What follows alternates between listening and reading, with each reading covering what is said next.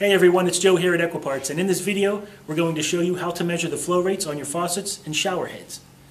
Now the reason it's so important to know the flow rates on your faucets is that you could be wasting a lot of water and energy, especially if you have a lot of older faucets in your building that have higher flow rate aerators.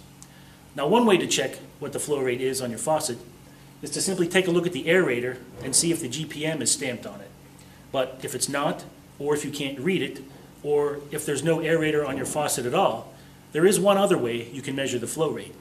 All you need is a timer and this flow rate measurement bag. Now the way to use the bag is you simply hold it under the faucet and let the water run for 10 seconds. And after 10 seconds, check the mark that the water level is closest to, and that will tell you the flow rate of your faucet. Now if your water level is above 2.0, you're probably wasting a lot of water. Now you can save a lot of water, energy, and money by upgrading to a low flow aerator. Now here at Equiparts we stock a variety of styles of low flow aerators, including 1.5, 1.0, and 0.5 GPMs. So if you're ready to upgrade your aerators, or if you'd like to get your hands on one of these bags, just give us a call, or just click on the link below in the description, and we'll ship one right out to you. Thanks for watching. We'll see you next time.